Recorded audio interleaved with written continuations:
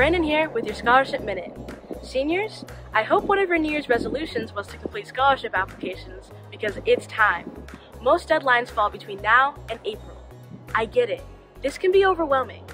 That's why you need to know about Scholarship Quest at educationquest.org. This free tool has over 2,000 Nebraska-based scholarships. All you have to do is complete a profile and then you'll be matched to scholarships that meet your criteria.